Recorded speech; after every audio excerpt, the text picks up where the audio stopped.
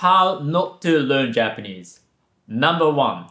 Coming to Japan to teach English, hanging out with other English teachers after work, complaining how it's impossible to make friends with Japanese people because they don't go out of their way to adjust themselves to your communication style. Leaving Japan after two years of misery, which will make you feel bitter about Japan, so you start posting negative comments on YouTube videos about Japan, which you can't stop watching people seem to have this idea that you need to come to Japan to learn Japanese and if you do, you will automatically learn Japanese. But things don't work like that. That's as unrealistic as Power's plan to win the Nobel Prize. Even if you live in Japan, you still need to make an effort to learn Japanese and you don't have to live in Japan to learn Japanese and that's why I will teach you the kind of Japanese that real life Japanese people today actually speak because textbooks and apps don't really teach you everyday real life Japanese. So click the link in the description and subscribe to my email group. Number 2. Watching anime with English subtitles. If you think I just said that you shouldn't watch anime to learn Japanese, that's not what I said. In fact, anime can be great resources to learn Japanese and I've made a video about how you can learn Japanese from anime. The problem is if you turn on English subtitles, you will just end up reading the subtitles, so you're not gonna learn a lot of Japanese. The solution is very simple Turn on Japanese subtitles. This way, you are forced to understand Japanese. If you are a beginner, you can watch anime you've already watched so that you don't have to be stressed about understanding the story. You can also stop the anime and look up words you don't understand. Another great thing to do is repeating characters' lines. It's a great way of practicing your pronunciation. Like this. 下着って確か土木関係の用語じゃなかったっけお前は何でも知ってるな。 お前は何でも知ってるな Except that she doesn't know everything, she only knows what she knows. Number 3. Asking questions to random strangers on the internet, including native speakers. Because everybody knows that random strangers on the internet are credible sources and they know exactly what they're talking about. I see people ask questions about Japanese in my comment sections and some friendly strangers answer them. I know they have good intentions, but the problem is a lot of these answers are simply wrong, even though they sound convincing. Of course, there are good answers, but if you are not fluent in Japanese already, how would you know if the answer is right? You wouldn't. And native speakers of Japanese are not any better because they really know how to explain their language. When I hire Japanese teachers for my online courses, I always ask them to explain some basic concepts, and a surprising number of them get them wrong. So don't trust random strangers on the internet because they are as credible as Hayao Miyazaki saying that he will stop making anime. Number 4. Studying for JLPT. My video wouldn't be complete if I didn't make a provocative statement like this. But let me explain.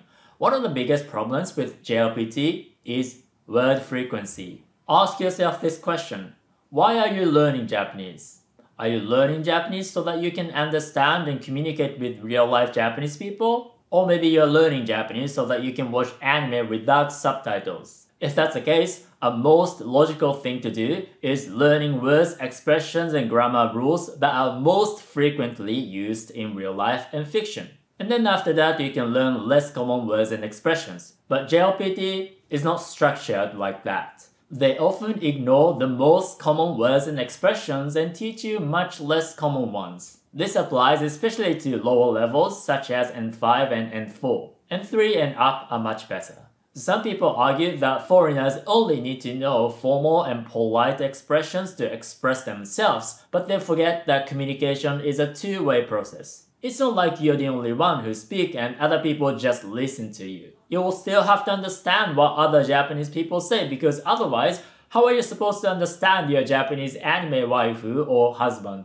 So you have to learn words and expressions that we real-life Japanese people use, even though you might not use them immediately on your next trip because you have too much social anxiety to talk to people. The most comprehensive way of learning Japanese is using real-life resources as soon as possible. But if you prioritize low frequency words and expressions, it will take you unnecessarily longer before you can start using authentic materials. This is why many people go to a language school in Japan but they can't understand real life Japanese people after months or sometimes years. But here's the thing you might think that I'm saying that you shouldn't take JLPT, but that's not what I said. Taking JLPT is fine. What I'm saying is, over optimizing your learning for JLPT isn't efficient if your goal is to understand real life Japanese or fiction in Japanese. Number 5. Not using authentic materials. And by authentic materials, I mean things that are made for native speakers. So they can be YouTube videos in Japanese, hem, family friendly anime, TV shows, films, radio shows, songs, video games, books, manga, etc. I have the impression that many people are kind of afraid of using authentic materials because they think that understanding authentic materials can be as difficult as beating Takagi-san. So many people keep using textbooks and apps which will certainly help but they are completely incomplete because they only cover a tiny portion of the language. And they completely ignore words and expressions that we very often use in real life. Sooner or later, you will have to use authentic materials and the sooner the better. But that doesn't mean you have to watch the entire One Piece without subtitles even if you don't understand anything, because if you don't understand anything, you're not learning much. What you can do is make them easy to understand by looking up words and reading grammar explanations. This is a great way of learning because you have the context where words are used. I explained how to do this in another video, so you should watch it. But the point is, you should always use authentic materials regardless of your choice of instructional materials, including mine where I teach you the kind of Japanese that real life Japanese people today actually speak because textbooks and apps are outdated and unnatural. So click the link and subscribe to my email group, Japanese with Yuta.